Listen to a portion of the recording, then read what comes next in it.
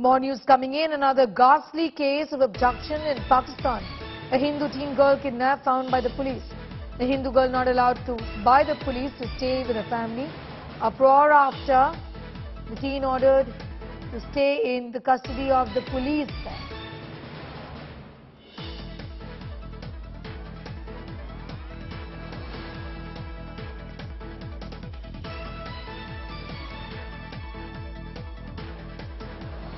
Journalist from Karachi, Veengas is now joining us. Thank you so much for your time. I hope I'm pronouncing your name right.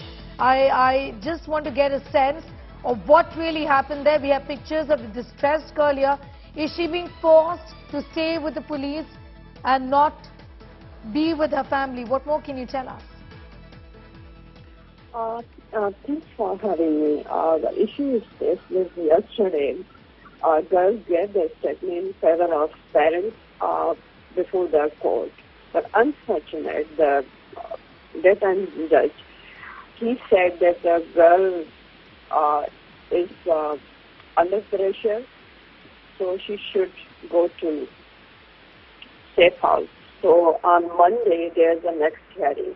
Unfortunate, this is very un- uh, unfortunate incident because uh, in Sindh there's an act uh, regarding the child marriage restraint act, um, uh, marriages.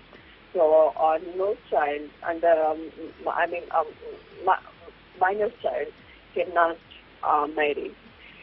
When a girl, she gave that statement in favor of uh, her parents, so what was the reason that uh, judge didn't accept? So it was really unfortunate, uh, fortune.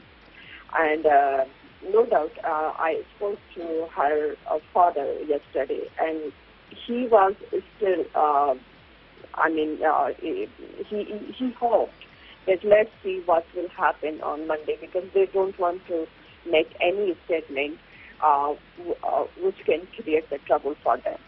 Thanking you for the moment for joining us with that information. So the Hindu girl we hear is not being allowed by the police to stay with her family and there's a uproar after she was ordered to stay in the police custody. A 14-year-old girl abducted forcefully and now not being allowed to be reunited with her family.